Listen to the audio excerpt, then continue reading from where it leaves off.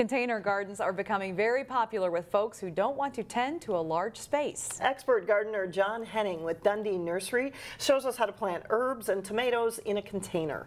Reporter Sonia Goins goes in the garden with more. There's some English thyme, there's a little bit of tarragon, and I have the standard basil. Now for the planting. They're very simple. Choosing the right soil is key to helping your potted plants to grow. This is a very light soil. Vegetable and herb plants vary in the amount of space they require. Give yourself a little room for the, the plants to come into and a little bit of room so that you, when you water doesn't flow over the top. You can use this technique to revive the root system. I always break up the, the root system a little bit just so they don't keep going around in circles, but just squeeze them a little bit, give them a little room.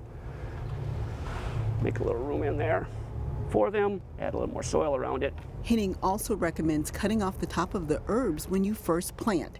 He says doing this will encourage more growth and it will help the roots to expand better. This particular plant, just take a scissors and snip them off. However, you'll have to use a different technique when it comes to planting tomatoes in a container. I wouldn't cut the top part off on it, but as far as planting it, you still break up the root system.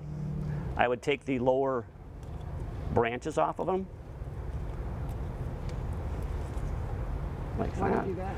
Um, and then when you plant it, plant it about this deep versus planting it at level with soil, but plant it deeper.